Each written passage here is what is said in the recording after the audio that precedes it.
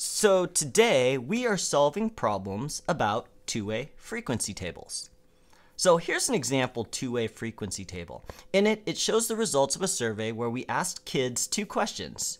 Do you have a sibling? Sibling, no sibling. And do you have a pet? Pet, no pet. And remember, that's how a two-way frequency table works, right? You can read it in two different directions. Vertically, and it'll tell us about siblings. Horizontally, it'll tell us about pets. All right. But the three questions we're going to answer about this two-way table are right over here, and they're very similar. And if you don't read them carefully, they almost seem like the same question.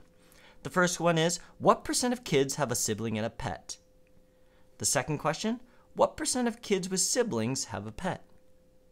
Third question, what percent of kids with a pet have a sibling? So notice, all of them kind of say similar things sibling pet, sibling pet, sibling pet. However, they're different questions because when we calculate percents, we need to know what's the part and what's the whole. In each of these scenarios, the whole is different. I'll show you what I mean. For the first one, what percent of kids have a sibling and a pet? So in this case, we want to know what percent of the kids.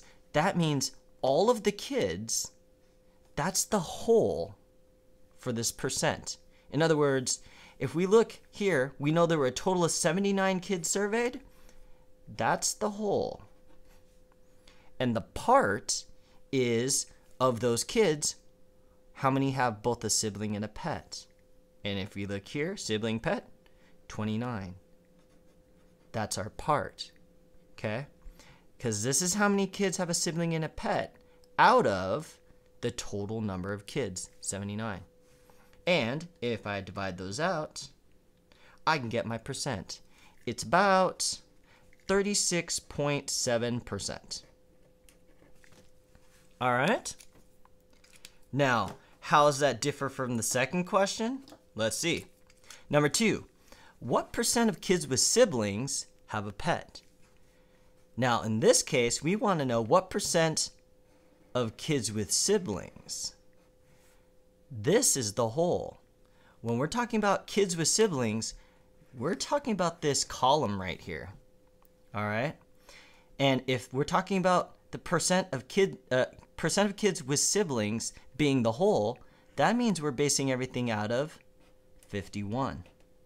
Cuz there's 51 kids with siblings. So out of those 51 kids with siblings, how many of them have a pet? Well, 29 of them do. So that's what we're going to use to find our percent. 29 out of 51. And I get about 56 point rounds up 9%. All right. Last question. What percent of kids with a pet have a sibling? All right. So again, this is slightly different. What's our whole? Well, we want to know what percent of kids with a pet. So we're basing everything out of kids with pets. And in this case, pets read horizontally. So we're looking at this row this time. Okay? And how many total kids have a pet? 46. That's our whole. All right? Now, out of those 46 kids with a pet, we want to know how many will have a sibling. Out of those 46 kids, 29 of them have a sibling. So to find the percent, we do 29 divided by 46. And we get approximately 63.0.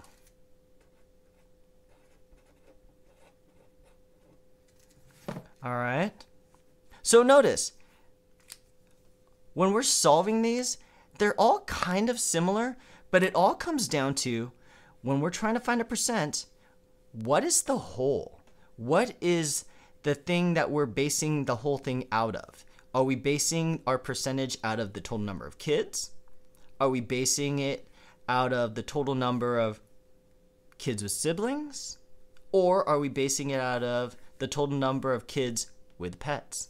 Because changing that number changes the whole percentage because we're basing it out of a different number of things. All right, so hopefully that, that helped you. If it did, please hit that like button. Also subscribe because it really helps us out. But with that being said, good luck on your math, and I will see you next time.